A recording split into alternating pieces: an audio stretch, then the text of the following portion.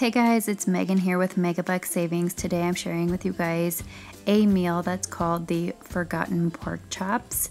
Now I'm trying to use what is left over in my fridge and freezer because we are going to be going out of town and my ideal way of thinking is to use everything we have up as much as we can in our fridge and freezer so that if something were to happen while we were out like a power outage or something that we will be using up whatever we can to um, empty out our fridge and freezer and not go let anything go into waste. So here I'm just cutting up some broccoli and have some leftover cut up onion from this week and I'm just going to cut all of that up and I'm sectioning this out because I needed some room on my cutting board um, but I'm gonna just end up throwing it in the pan and um, so anyways, this is just gonna be a really easy meal and you don't even have to add broccoli. It's really just kind of whatever you have in your fridge and freezer and kind of just throw it in the pan. Now,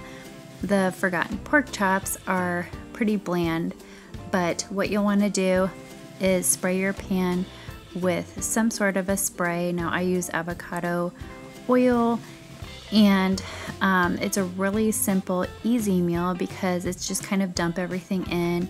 And so I'm adding the chopped up broccoli that I had on hand and the leftover chopped up onion that I had in my fridge. And then I had a leftover, I had one half of a leftover pork chop steak and then another like two of um, ones that were left over that my kids didn't eat that they just had cut off and so it equaled another half. So it was like basically one pork chop.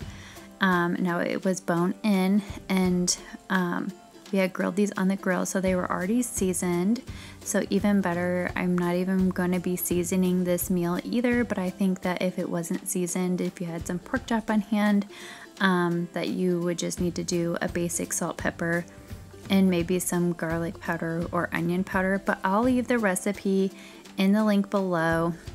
So if you want to try this or if you have some ideas of what you want to do, if you have stuff like this in your pantry and freezer um, and fridge, then go ahead and do this. But I had a cup of rice and I had some leftover beef broth in my fridge, which was a cup and a half. And then I had this leftover mushroom, cream of mushroom soup that I made. It's gluten-free recipe and I'll find that and link that below as well. But I had just enough that I needed, which was two cups of the cream of mushrooms. So I added the one cup into a larging, large mixing bowl and the beef, beef broth and some water to equal two cups in, in this measuring cup because I wanted two cups of liquid with my one cup of rice and I went ahead and added the cream of mushroom in with the rice and the um, liquid and then I just went ahead and mixed it all up and um, you want to really mix it up really well because the rice if you don't get it really saturated in the liquid, then you tend to have some um, unequal parts of rice not cooked in your dish. So just getting that really mixed up is the crucial part of this recipe, but it's so easy. So you just add the liquid right on top of the onions, pork chops, and the broccoli and um, get it all saturated in there before you put it in the oven. Now again, you don't have to add broccoli, you don't even have to add onion.